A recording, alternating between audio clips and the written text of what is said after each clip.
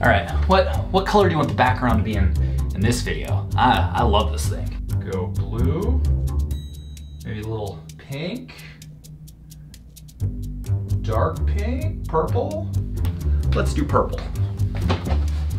What's up, Rebels? Let's talk about blogging.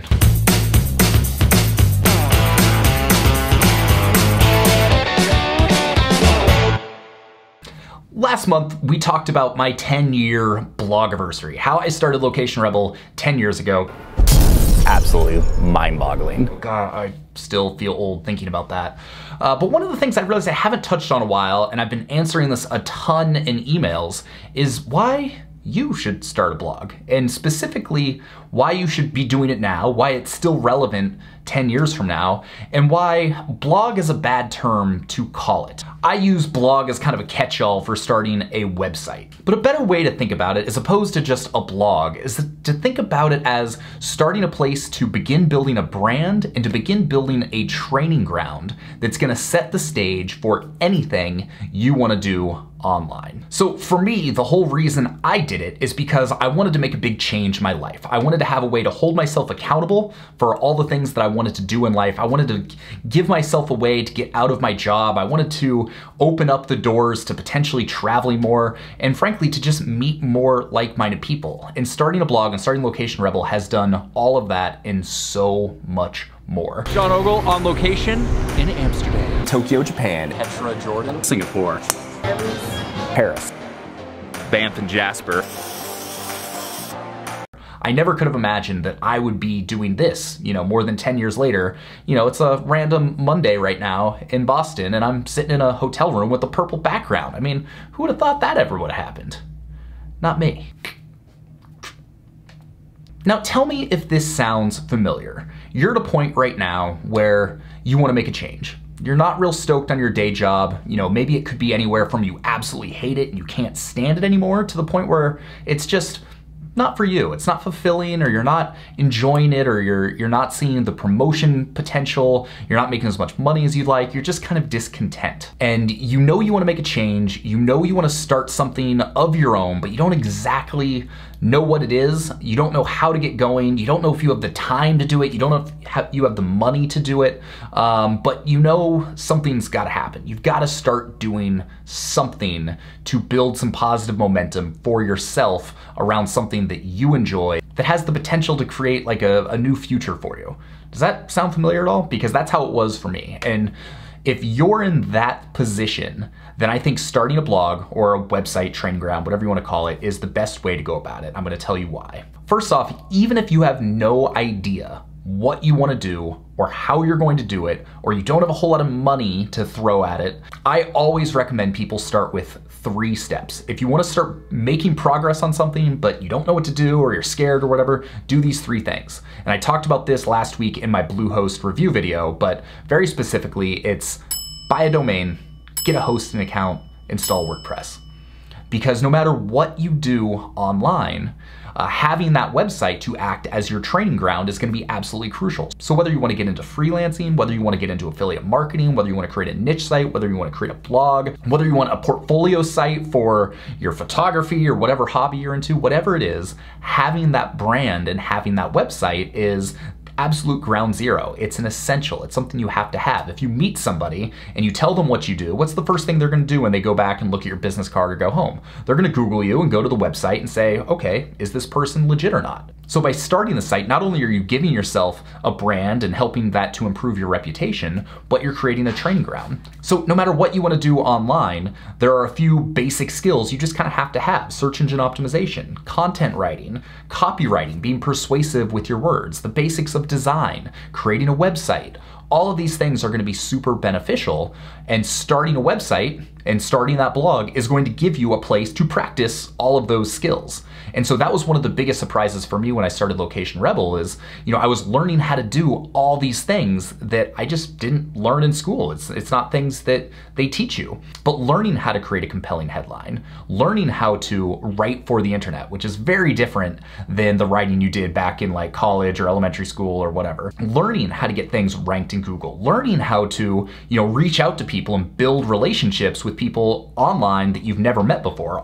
All of those things have completely changed the trajectory of my life and allowed me to create a business that's way more successful than I ever would have imagined and certainly more successful, more fulfilling than the work I was doing back in my finance days years ago. So those two things, building that brand, building your training ground, those kind of form the crux for why I think it's so essential everybody start a website as their first step, even if they don't know what they want to do. But depending on how you approach it and the type of site you create and what your goals are, there's gonna be all sorts of other benefits that you don't even realize right now. It could be becoming influential and known as an expert in your niche around whatever hobby or interest you have. It could be passive income through affiliate marketing and doing product reviews. It could be giving yourself a vehicle with which to meet other people that are already more successful in your industry. It could be allowing you to self-publish a book and becoming an author through the audience that you've built on this website.